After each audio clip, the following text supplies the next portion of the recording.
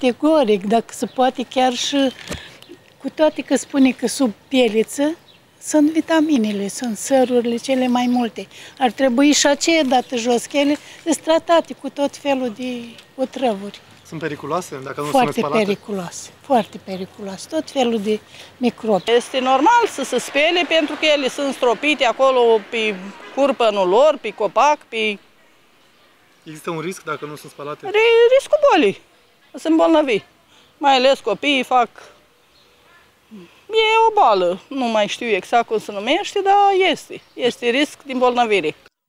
Lipsa poftei de mâncare, abdomen sensibil, vărsături, diaree sau febră sunt doar o parte din simptomele bolii diareice acute.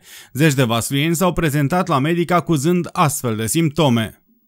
La nivelul județului Vaslui, în ultima săptămână s-au înregistrat 85 de cazuri de BDA, din care 71 spitalizate. O creștere a cazurilor diagnosticate cu circa 30% față de săptămâna anterioară. Deși enterocolita este una dintre bolile care funcționează pe modelul îmbolnăvire și recuperare rapidă, o parte din bolnavi au ajuns pe patul de spital. Ponderea cea mai mare a cazurilor internate în ultima săptămână s-a înregistrat la grupele de vârstă 1-4 ani, respectiv 15-64 de ani, cu câte 15 cazuri spitalizate. De la începutul sezonului de monitorizare au fost diagnosticate 578 de persoane cu BDA, din care circa 80% au fost cazuri spitalizate. În cazul copiilor cu enterocolită, pericolul îl constituie deshidratarea care apare din cauza pierderilor de lichide și a faptului că cei mici nu le pot asimila pe durata bolii. Apar uh, disconfortul digestiv, scaune diareice, intoleranța alimentară, se mai adaugă și vărsăturile, uh, crampele abdominale, deshidratarea care mai ales la vârsta uh, mică este de o gravitate excepțională, pentru că la el ceea ce la adult se poate produce în 24-48 de ore, la vârsta mică se produce în 6 până la 12 ore. Odată diareea instalată, sigur, de acum riscurile sunt enorme. În primul rând este vorba de infecții.